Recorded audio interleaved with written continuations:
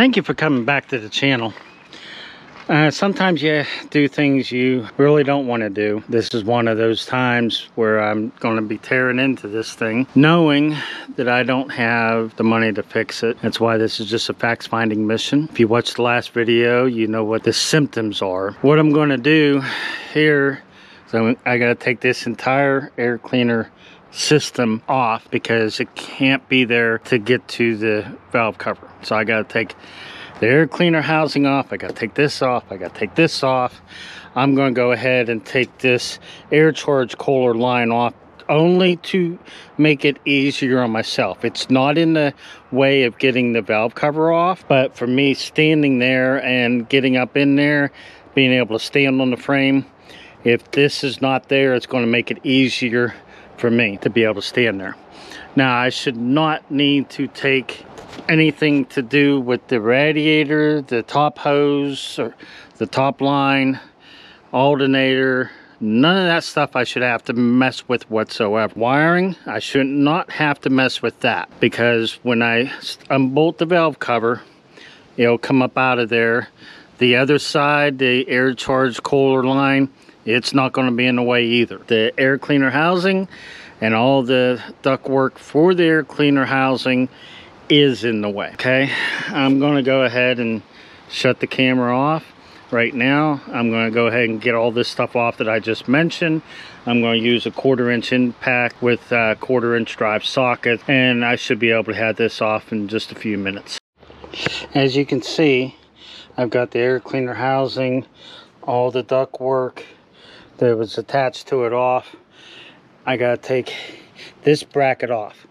This one over here will be fine. The valve cover will come up over it. But this one, because it's the way it's angled, it's actually over the edge of it. So I, I gotta take that one off, which ain't no big deal. I mean, just two bolts there.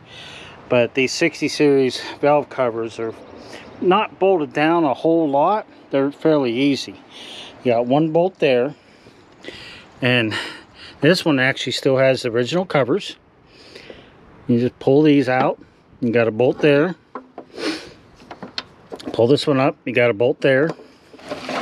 And then in the back, just like the front, you're going to have a bolt back there. So there's only four bolts holding this whole valve cover on. It's more getting to it than getting it off. Once you get those four bolts out, you might have to stick a pry bar or, or screwdriver down there to break the seal because if it's been there for a while, it's going to be a little stuck. If it hasn't been there for years, chances are you'll be able to just grab it and pull it up. So I'm going to go ahead, take those two bolts out, and I'll go ahead and take that bracket off and then I'll take those four bolts out and then we'll pull the valve cover off and we'll see if we can see anything down in there. I have my doubts if I'm going to physically be able to see anything because I'm thinking probably the injector. These are valve cover bolts.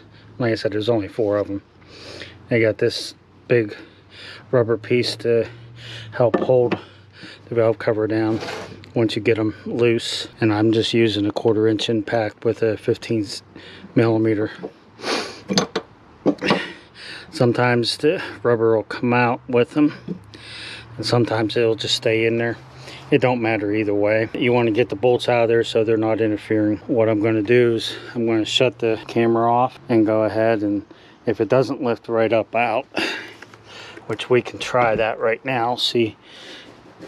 Yeah i'm going to have to stick a screwdriver down in there and go ahead and get it to free up just like that I don't want to go too far because I don't want to lose the bolts that I got sitting on there but as you can see I've already had it moving.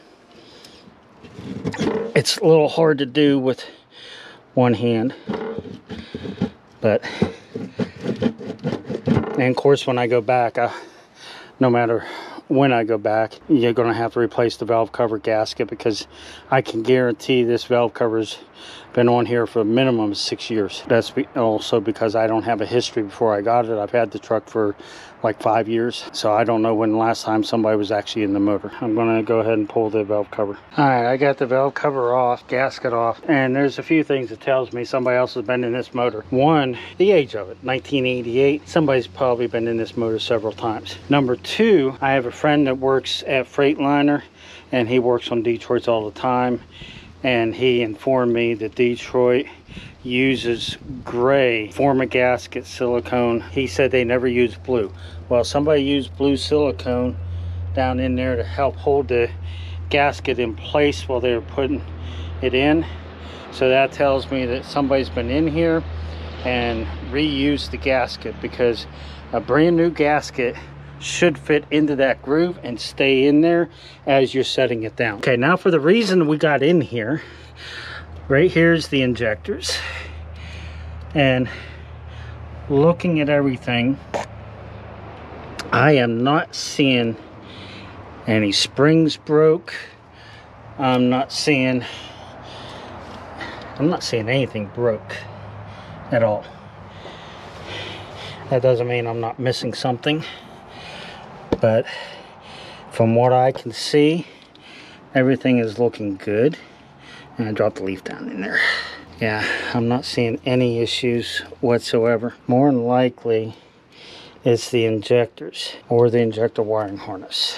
And I've already it's already been recommended that I change the wiring harness first. With the age of the truck and not knowing the history I'm leaning towards the injectors. And if two went out that quick all at the same time. It's a good idea a great idea to change all six injectors. And when i was looking online a cheap set of injectors is like over three thousand dollars. And i don't think i'm going to get very far with 15 bucks. This is pretty much all the further i'm going because i don't want to take the rail off. For the simple reason i don't want to leave it sitting outside for an unknown amount of time.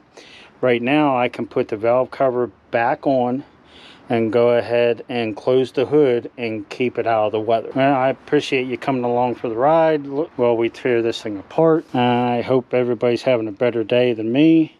But go ahead and hit that thumbs up and the subscribe button and come on back for whatever we get into next. Thank you and have a great day.